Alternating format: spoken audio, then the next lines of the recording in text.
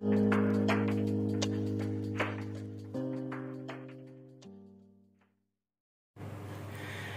guys, selamat ketemu kembali dengan vlog saya Sugianto 1974. Apa kabar kalian semuanya guys? Semoga diberi kesehatan dan kebahagiaan. Hari ini guys, aku mau membuat bubur ya guys. Bubur ala-ala kami, ala aku gitu. Uh, karena kan ini apa? Uh, ingin coba makan bubur gitu kan biasanya nasi terus dan ini kita mau coba membuat bubur ya guys. Oke, gitu saja ya guys. Nah, jadi ini bahan-bahannya guys. Mau buat bubur, ini gak ada kol segala aku tambahin kol. eh, buburnya pakai kol terus ini ada eh, Nah, kentang ini daun seledri apa dos? daun sop guys ini ada wortel dan ini adalah buburnya oh ini adalah kelapa kelapa santannya nanti guys santai. Nah, ini wortelnya ada dua. Nah, jadi ini kentang nih lah tadi lah. Nah, ini wortelnya kita kerek dulu. Kulit-kulitnya kayak gini ya.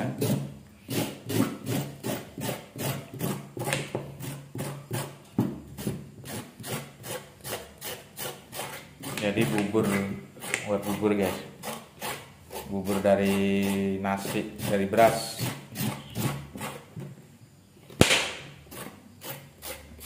Mungkin ada yang belum bisa ini kalian ada. Nah, jadi kayak gini guys, cara proses pembuatannya. Jadi ikutin saja proses pembuatannya dari awal sampai akhir ya guys, biar kalian nanti bisa membuat bubur ala-ala ya ala-ala sendiri ya ini. ya. Nah, kemudian kentangnya kita kupas juga ya guys, kulitnya kayak gini. Jadi bagi kalian yang ingin membuat bubur masih bingung, tonton video saya ini ya dari awal sampai akhir. Nah, jadi kayak gini. Bahannya sangat simpel. Harganya juga ini nggak nyampe paling 10.000 ya. Iya.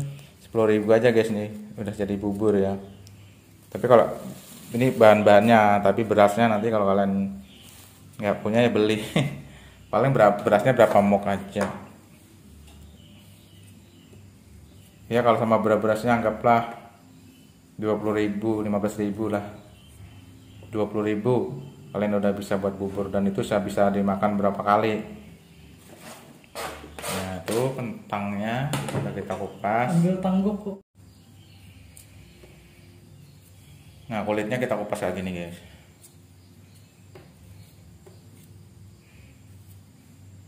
Sebenarnya membuat bubur ini bisa divariasikan ya, tergantung selera kalian ya, guys. Bisa ditambah dengan ikan, ikan ayam disuir-suir gitu, guys. Dagingnya. Terus telur juga bisa.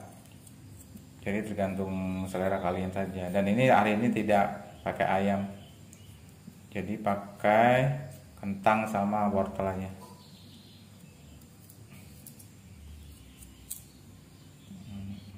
Nah, diiris kecil-kecil kayak gini ya, guys. Tergantung selera juga nih potongnya gimana menurut kalian yang enak dipotong.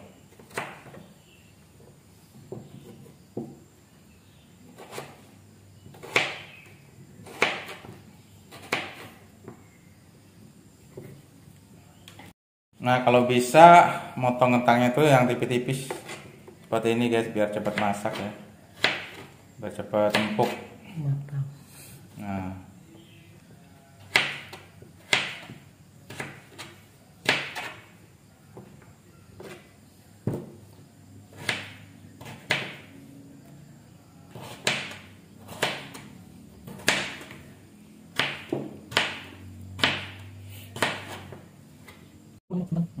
Matang. Nah. Jangan lupa wortelnya juga kita potong ya guys. Nah, potong kecil-kecil juga. Nah.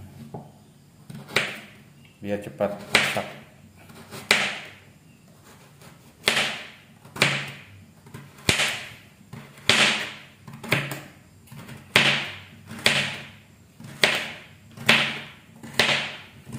Ini tadi kentang, kentangnya gitu.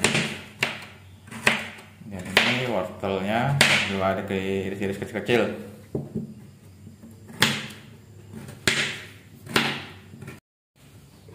Nah kita potong-potong kayak gini ya guys.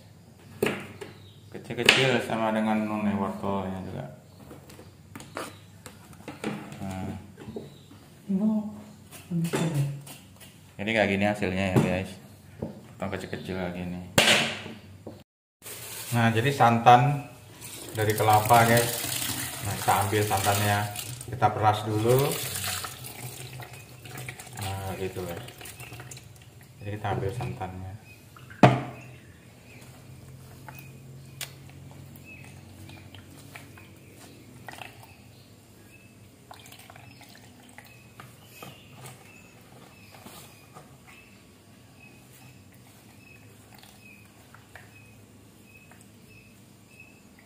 Nah, gitu guys.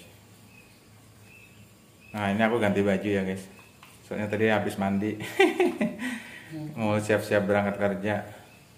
Tapi buat ini dulu ya, video ini. bubur, buat bubur. Oke, guys, usahakan eh usahakan nih ya guys, eh, santannya tuh santan yang kelapa parutan kayak gini ya ini menurut kami sih menurut saya jadi lebih enak kalau dibandingkan dengan kita beli yang kara itu ya yang sudah ada yang sudah bungkusan. Santan yang praktis dengan sebutan. Eh, santan yang praktis itu. Terus ah, kalau bisa ya kayak gini aja ya. Nah. Baru kita masukkan air santan. Nah kita masukkan air santan guys. Jadi airnya itu air santan ya guys. Berasnya cuma satu gelas kecil kita nyalakan apinya Ininya kita cuci. oh. Nah, sambil nunggu ini kita cuci ya. Nah, kita cuci dulu guys, kentang sama wortelnya tadi ya. Yang kita sudah iris-iris, kita bersihkan, kita cuci. Nah,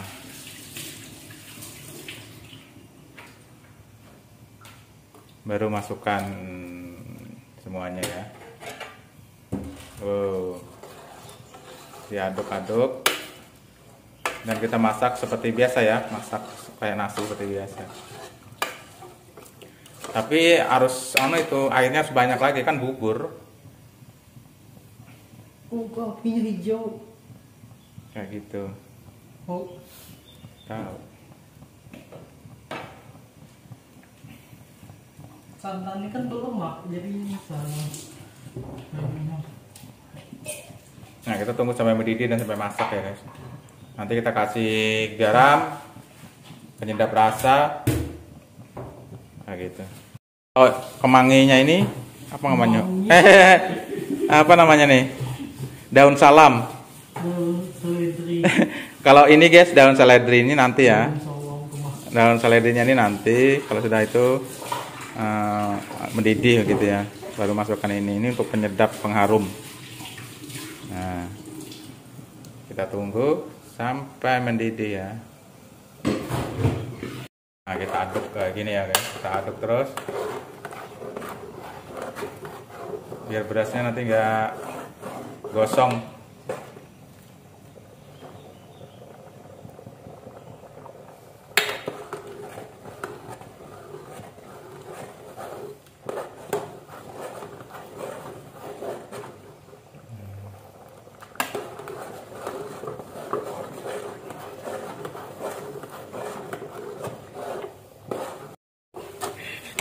Oh, kita aduk terus guys.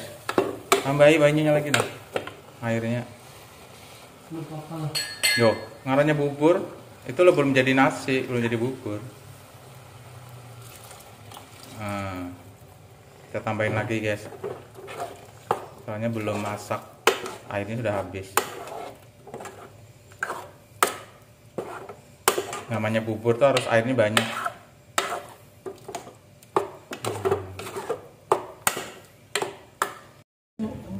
kita pindahkan ininya di sini ya di magic jar. Nih karena di sini ternyata ada bubur ya nih. Ada penyetelan buburnya. Nah tadi kan kita masak lewat ini. Nah kalau sudah agak setengah mas setengah masak baru pindah-pindahkan ke sini ya. Ke Magicom nah Magicom itu sini kan ada buburnya nih. Tuh lihat. Nah tinggal tekan itu nanti jadi dia lebih apa ya lebih masaknya lebih bagus lah gitu. Kalau kita masaknya pakai api. Kalau pakai api ini bisa gosong bawahnya. Nah kalau pakai magic magic com ini kan nggak nggak akan gosong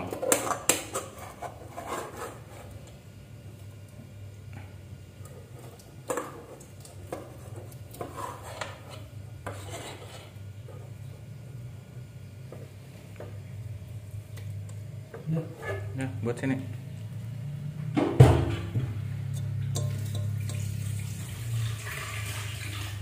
Nah, kita pakai ini ya masaknya. Magicom multifungsi Magicomnya. Sedikit ya. Banyak. Nah, kita buat air lagi ya, guys. Biar masak kayak bubur. Kita tutup. Hmm. Kita nyalakan. Nah, kita tekan yang ini ya Menu. menunya maaf guys ini menunya guys oh ini kita matikan dulu. Cancel nah. Sampai ada, sampai menu ya guys. Sampai sampai menunya ini ke bubur nah nih. Kelihatan nggak? Nah itu buburnya kan. Ada lampu indikatornya kedip-kedip. Nah ini sekitar 2 jam kalau nggak salah. Baru kita start. Nih ya startnya. Nah. Udah tunggu kita aja guys. Sampai dia bunyi nanti berarti masak. Praktis guys, masak bubur yang sangat praktis. Gitu. Nah guys, kita kasih bumbunya ya, Uya. Sama penyedap rasa. Oh enggak apa nih? Oh ya, Royco. Sama Royco guys, sama aja sih penyedap rasa juga. Nah. Udah, baru diaduk guys. Nah, diaduk sama dia rata.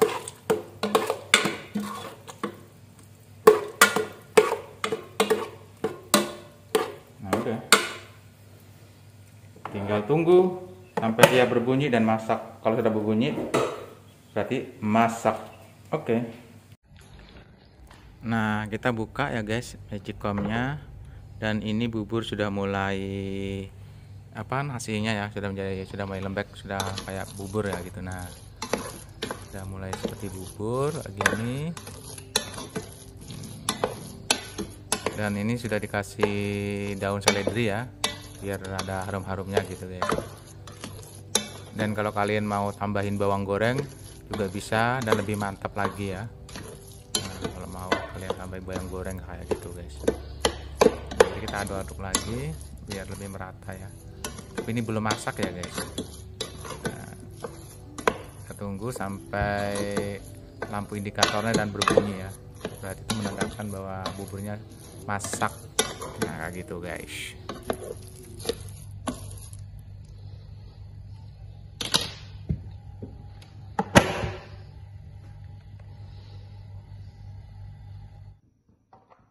Sambil nunggu buburnya masak kita buat bawang goreng dulu ya guys. Ini aku mau goreng bawang bawang nah bawang merah ya. Aku goreng jadi biar lebih sedap nanti rasanya dan harum baunya.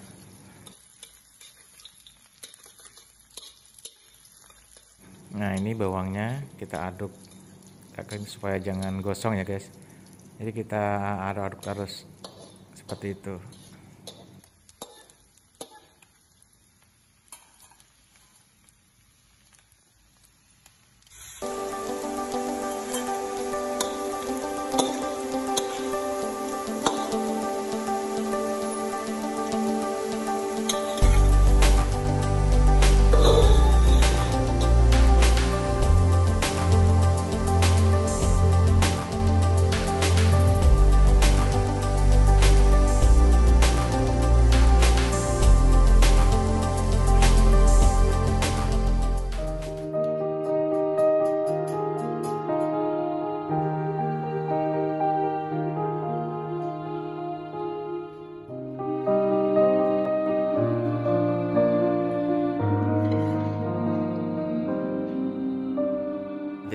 guys aku pagi-pagi udah membuat bubur ya bubur dari beras uh, jadi ingin apa merasakan uh, bubur makan bubur kan biasanya nasi terus dan ini ingin uh, makan bubur ya guys uh, jadi buatan sendirilah kayak gitu kalau kalian ingin coba bisa nonton videoku sampai habis ya biar nanti tidak salah cara memasaknya begitu guys Oke, terima kasih sudah menonton video saya. Jangan lupa di subscribe, like, comment, di share, dan tekan loncengnya. Oke.